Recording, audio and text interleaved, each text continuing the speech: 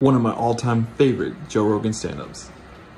I love pot, but uh, the people that are making edibles need to slow the fuck down. Oh my God, what are you trying to do to people?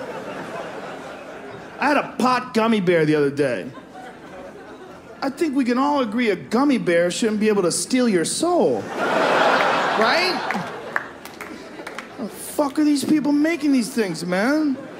They're not consistent. That's also part of the problem. You don't know what you're getting because they're not, they're not making in the same place where they make Tylenol. Not some greasy dude with a Grateful Dead t-shirt on, and a gray ponytail. He's got a bowl of ingredients and he can't remember whether or not he put weed in yet. This dude's time traveling, just back and forth and just keeps chucking weed in there until it looks like lawn trimmings. You eat it and it's not what you're looking for.